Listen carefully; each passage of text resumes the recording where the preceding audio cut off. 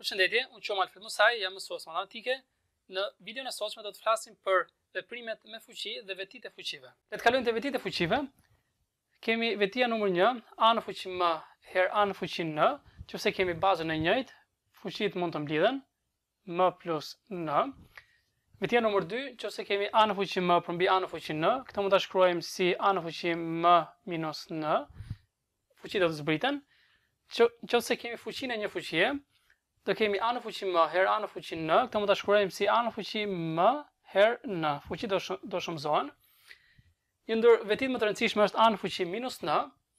Këtë do ta shkruajmë gjithmonë një përmbi a në fuqi n.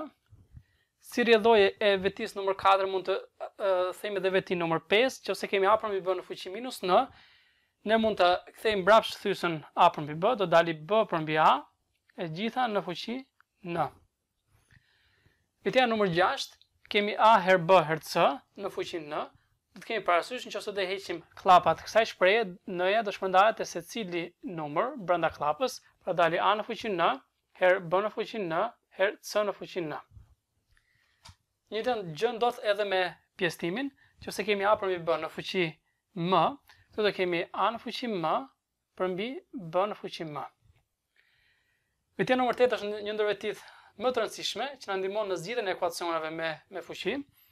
Qoftë se kemi A në fuqi M baraz me A në fuqi N, qoftë se bazat janë të njëjta, gjithmonë do ne mund të themi që edhe fuqitë duhet të jenë të njëjta, M baraz me n. Le të kalojmë te disa ushtrime tipike që dalin në në provimin e maturës. Ushtrimi i parë që do të shohim është, jepet shprehja x herë rrënja e x-it e gjitha në fuqi të tretë përmbi x në fuqi të katërt, shkruaje këtë shprehje në formën më të thjeshtë. Gjëja e parë që do të bëjmë është që rrënjën katrore brenda kësaj shprehje ta shkruajmë si fuqi.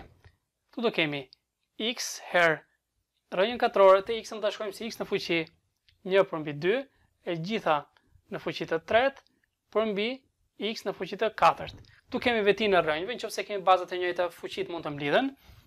Kjo do jetë e barabartë me X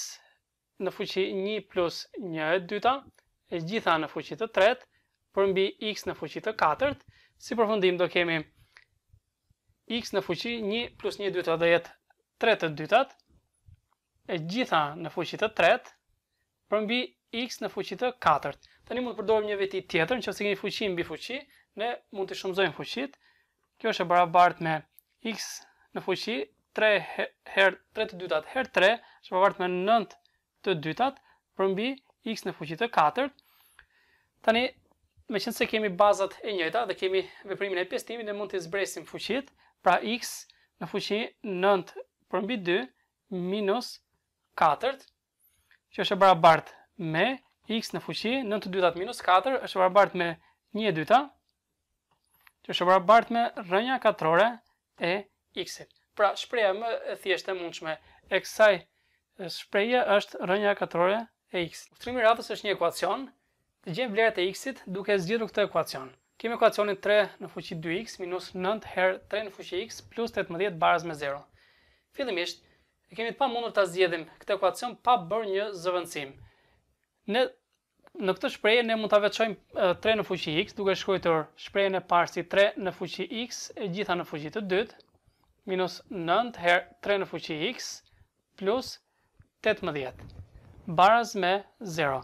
Duke shënuar tre në fuqi x me një ndryshor tjetër, me t për shembull, tre në fuqi x do ta shënojmë me t, e zëvendësojmë sërisht në vend të tre në fuqi x zëvendësojmë t-në dhe shprehja jonë do marrë formën t katror minus nëntë herë t plus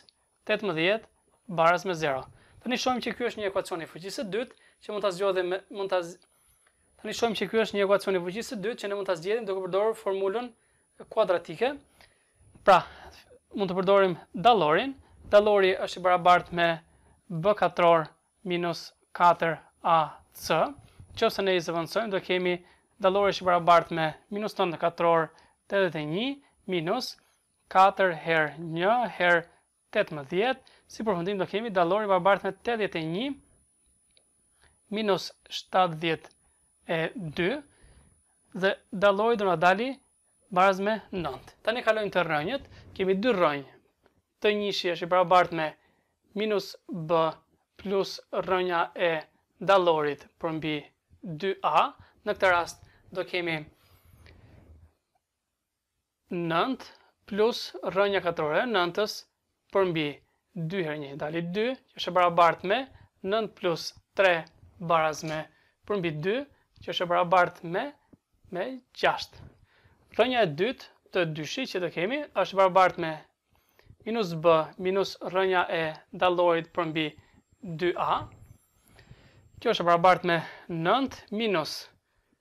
Rrënja katrore e nëntës përmbi dy, që është e barabartë me nëntë minus tre përmbi dy, që është e barabartë me tre.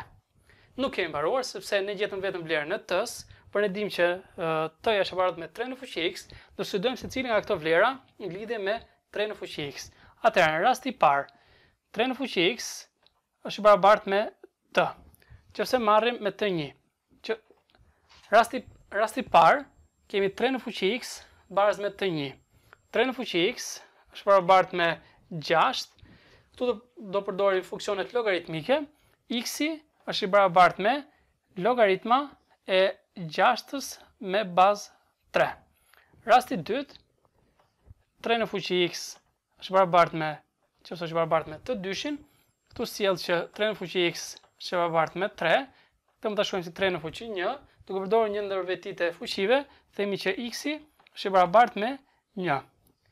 Pra zgjidhje e këtij ekuacioni janë x-et, të cilët janë pjesë të bashkësisë 1 dhe logaritma e gjashtës me bazë 3. Në pyetjen e radhës kemi shprehjen 7 herë 16 në fuqi 3 të katërtat, plus nëntë herë katër në fuqi tre të dytat, dhe këtë shprehje duhet ta shkruajmë në formën dy në fuqi x.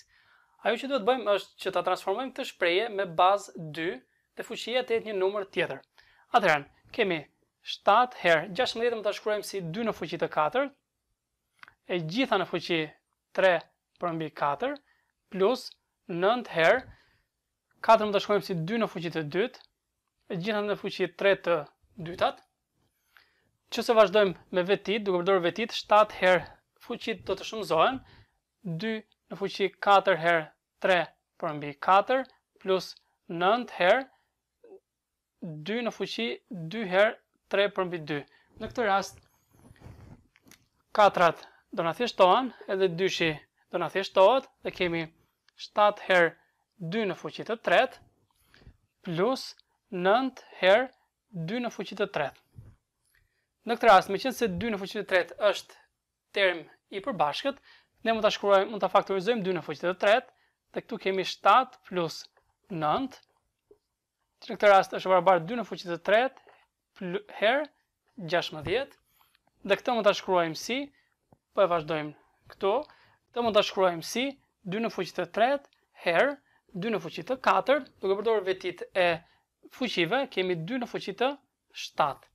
Në këtë shprehje duhet ta shkruajmë në dy në fuqi x, në këtë rast kemi x-i është i barabartë me shtatë.